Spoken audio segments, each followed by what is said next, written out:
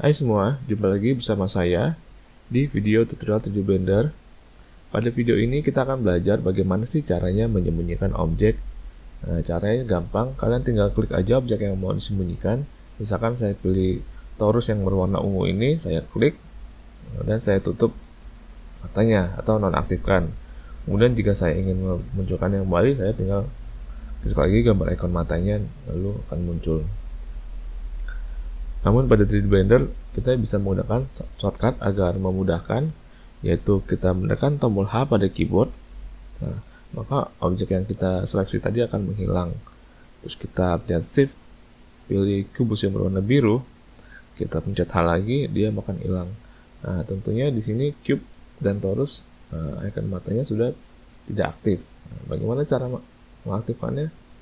Nah, kita juga dapat melakukannya dengan shortcut pencet Alt H. Nah, maka objek itu akan muncul. Atau sebaliknya kita ingin fokus pada dua objek ini lalu menyembunyikan objek-objek yang lain. Nah, caranya ada menekan Shift H. Nah, maka seluruh objek yang ada di pengerjaan kita akan akan menghilang dan kita akan fokus kepada nah, objek cube dan torus yang sudah kita seleksi. Nah, kita ulang ya. Kita menekan Alt H, maka akan muncul seluruh objek.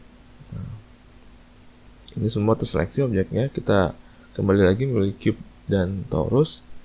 Kita mencet H, maka objek yang kita pilih hilang. Kita Alt H, maka akan kembali lagi. Sedangkan jika kita menekan tombol Shift H, maka sebalikannya objek yang tidak kita seleksi yang hilang.